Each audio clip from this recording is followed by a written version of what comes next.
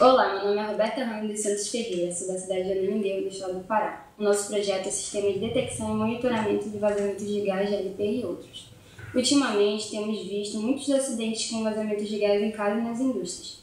Foi pensando nesse problema que criamos um sistema feito através da placa de prototipagem Arduino, e com ela podemos medir o nível de gás no ambiente. E caso venha ocorrer vazamentos, é enviado informações via Bluetooth para um celular, com Android através de um aplicativo criado por nós, logo emitindo sinais sonoros e visuais, tanto com os LEDs e buzzers ligados no nosso sistema quanto no celular. O maior benefício desse projeto é poder salvar vidas através do sistema, além do custo-benefício. Agora irei mostrar o projeto funcionando tanto com gás propano, que vem do, do isqueiro, quanto a fumaça, que vem de pedaços de papel. Uma placa Arduino Uno, um modo Bluetooth, temos dois LEDs, um verde e um vermelho. O verde indica que o sistema está em funcionamento, o vermelho indica que está ocorrendo vazamento de gás. O buzzer também, ele apita quando está ocorrendo vazamento de gás. Temos também o sensor MQ2, que detecta vários tipos de gases inflamáveis. É, detecta o propano, que tem no isqueiro, o butano, do gás de cozinha, e detecta também fumaça.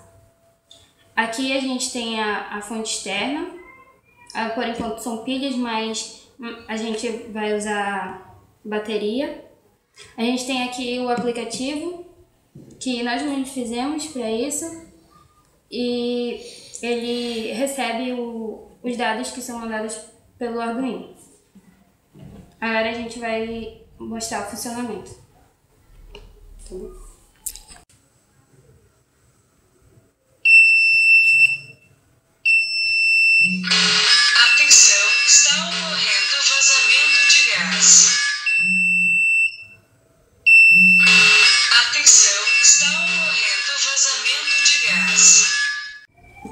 Agora a gente vai fazer a demonstração com o gás propano, que vem no isqueiro.